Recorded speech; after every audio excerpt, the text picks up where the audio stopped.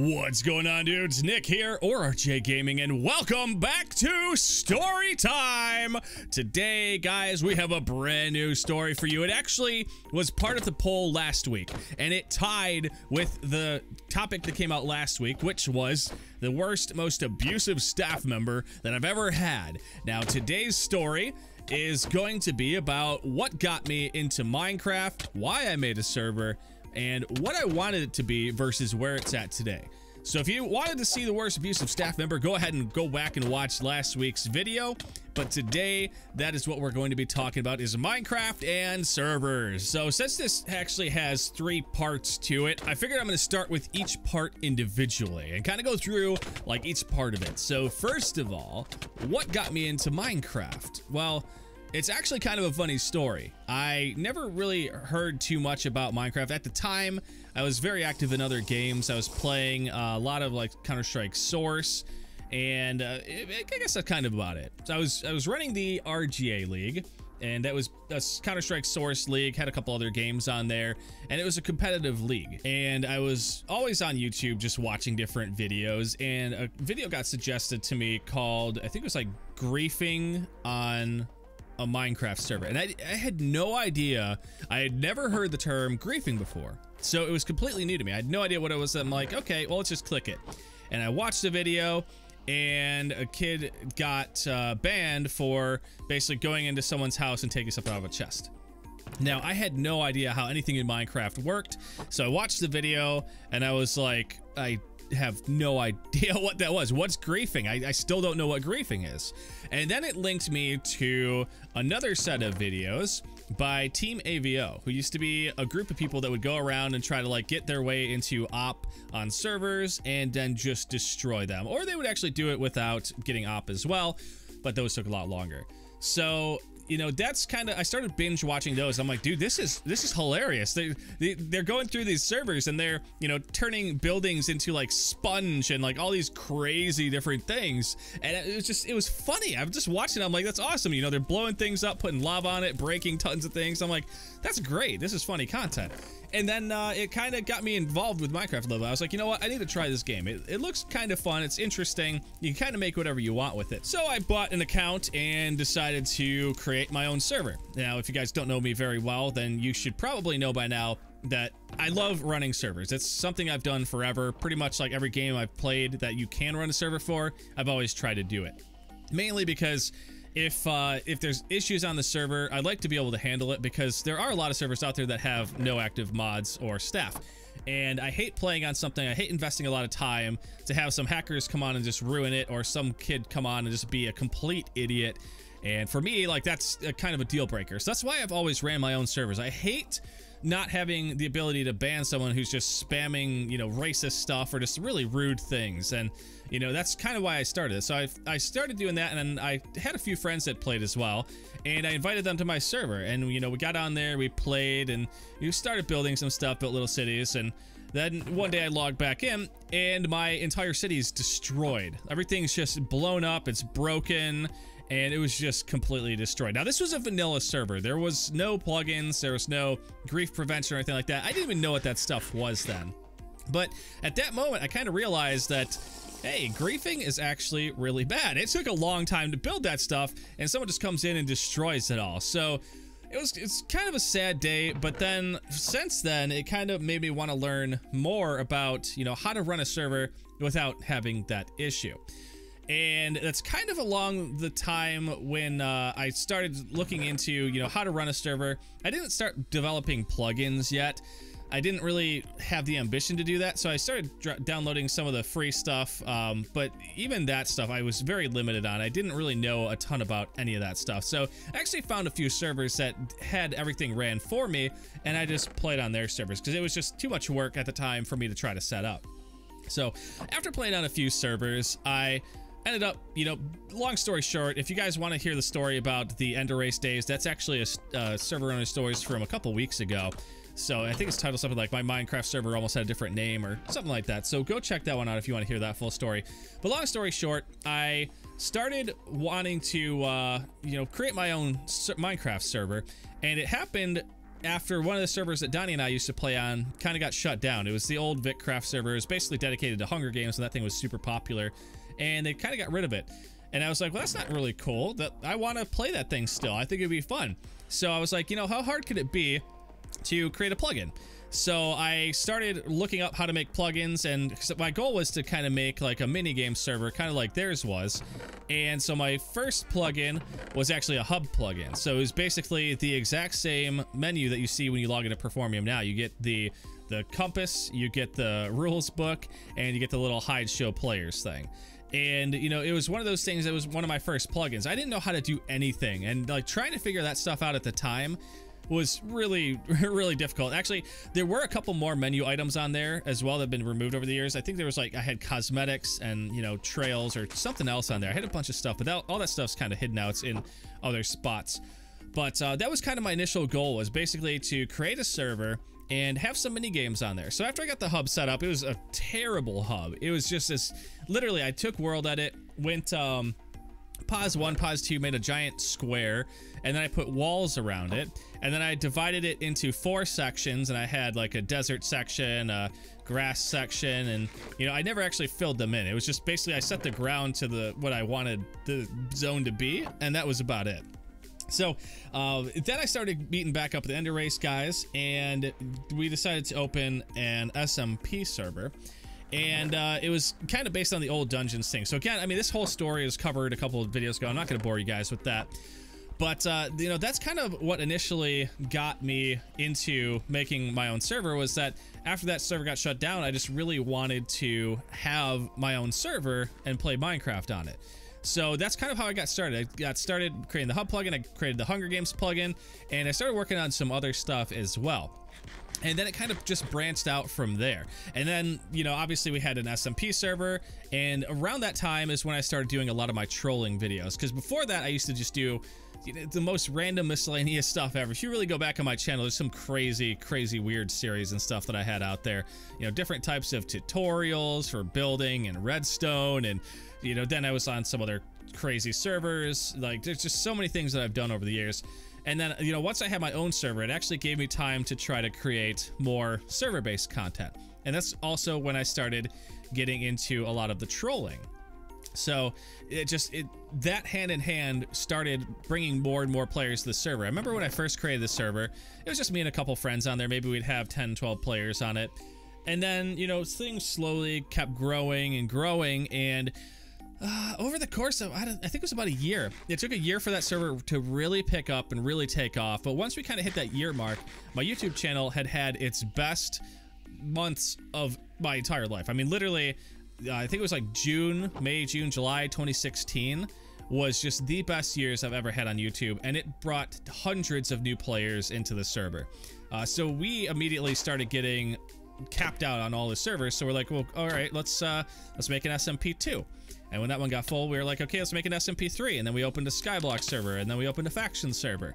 And it was more just that we needed somewhere for players to be and to handle that traffic. So we just like said, okay, fine, let's just uh, let's add this one and add that one, and it was just it was a crazy experience because there's just so much stuff going on on the servers that we could barely even keep up with the growth.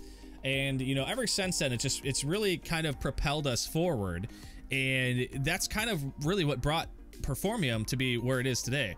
So, I mean, like I said, I'm not gonna dive into like the all the crazy details. If you want to hear that, go check out the other video. But uh, so yeah, that's kind of what got me into Minecraft. And I, like, you know, it got me into Minecraft. is the griefing videos, and I just thought it was hilarious. And then I just wanted to have a server to mess around with. So I did that, played on that, you know, played on a bunch of other servers. And it, like I said, then it gave me ideas for creating my own server. And you know, that's that's the first two topics. So then the final one is kind of like, you know, what I wanted the server to be versus where it's at now. And I'm even going to add a third part onto that of where I want it to go in the future. So initially, like I said, I wanted the server to be a a minigame server. Basically, come on the server, have a whole choice of different things you could play on, whether it was capture the flag, hide and seek, Hunger Games. I mean, I had so many mini games in mind, and actually, I still have a bunch of the code from a lot of the games I started developing over the years. But the problem was the servers that seem to do the best for us were always like the, you know, survival servers and stuff because we could get those out super easily. Anytime something would update, like a Minecraft version, this is before we knew how to like do anything major, but like when a new Minecraft version comes out, we would launch a new server. So I think like SMP 1 started on 1.9. I think SMP 2 was uh, 1.10. Uh, I think uh, SMP 3 was 1.11 and then 1.12 came out and I think we relaunched SMP 1 and you know it's just it was one of the things that we just had to keep doing over the course of years but it allowed us to control the population. Because honestly like mini games are great but they're not really long-term game modes. And you know players will come in they'll play them for a little bit but they want something else to do that's a little bit longer. And that's why we started getting away from that route. And i'm not saying that i didn't want that I'm not happy with where it's at. But that's basically where it started. It was supposed to be just like a you know mini game server, hop on there, play, give me somewhere to you know record and stream, and that's kind of where it grew today. Um, whereas today, I mean, currently we've got, I think we've got like over a dozen servers on there now. I mean, we've got a multitude of just different SMP servers and Skyblock servers. Uh, we've we've always experiment with new types of servers. So I mean, when when Minecraft releases new versions, we like to play around with that stuff. Um, we've tried so many different custom game modes over the years as well. I mean, some of you guys will remember things like Hardcraft or Gemcraft or um, Dungeons, which actually Dungeons is probably Man, I could make a story about dungeons on itself. Like that used to be my pride and joy of the server because it was one of those things like I could play with my fans and it gave me creative room to create different dungeons and bosses and you know different mechanics within the game. And it was something that I really liked. So if there was one thing that I didn't keep up with and I kind of wish I would have it would have been the dungeons idea because it was just it was so unique. Nobody else really has anything like that out there. It was very progressive based and it's just it would have been it would have been a really fun thing to have around. But unfortunately the amount of time that it would have taken to keep bringing it to uh, up to date and keep new content and stuff coming would have been too much. And I, the biggest problem for me was finding builders to you know continuously build out the world. Because I had this massive like 10,000 by 10,000 world that was pre-gen with all kinds of stuff but honestly there's no way I could build it myself. I'm a horrible builder. But uh, I mean that's one of the things I guess where I wanted the server to be that it, it doesn't have today. I mean the server itself today I am just completely astonished that, you know, it's doing as well as it is. I mean, we have an amazing community over there. If you log in, usually everyone will welcome you. Multiple people will welcome you on the servers. Some people actually offer to give you different resources. And there's just, there's so much, so many nice people that we've met over the years and it's all because of the server community helping itself and policing itself i know a lot of people are like oh well how come i can't swear i can't do this or that and it's because you know, we want to have a nice community. I don't want to have something with my name on it that's toxic and, you know, not a good place to be.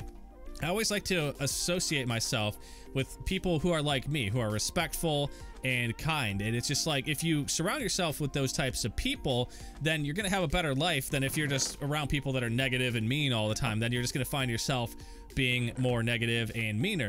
So I just, I kind of, I'm really happy with where the server is at now.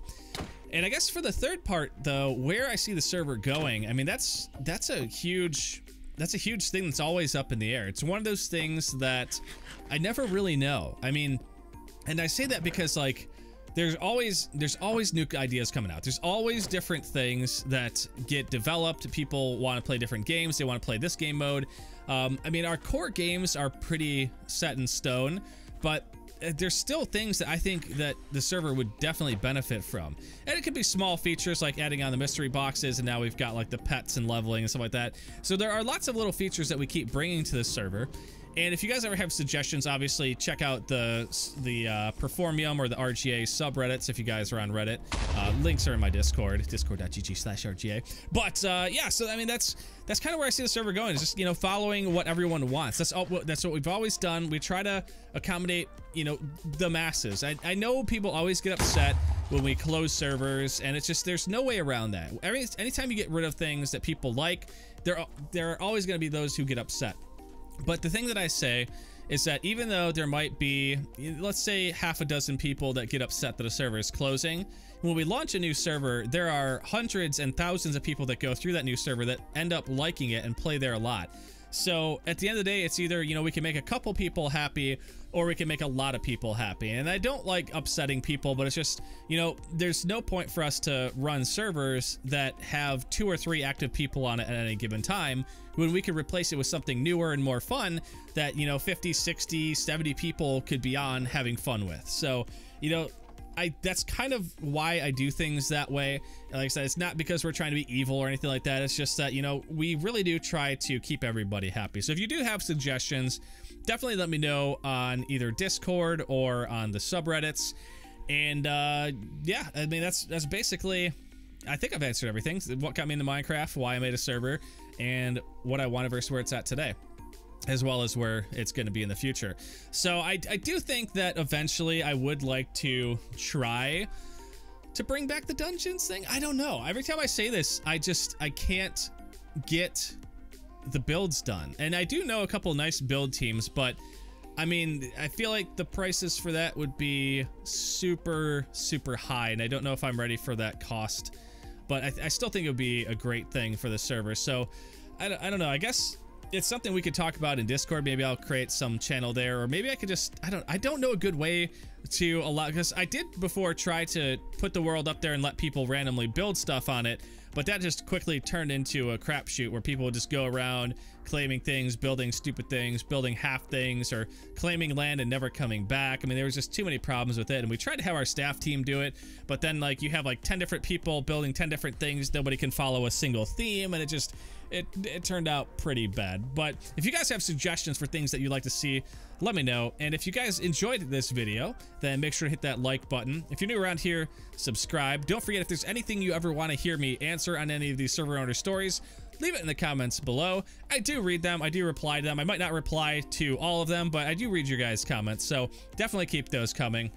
And uh, yeah, I think that's it for this video. So thank you guys for joining me. Hopefully you guys had a great day, and I hope you have a great day every day. And I will see you guys again next time. Goodbye, everybody. As always, dudes, thank you so much for watching. If you enjoyed this video, make sure to subscribe and possibly check out one of these other videos here. I think you really might like them. But I'll see you guys next time. Goodbye, everybody.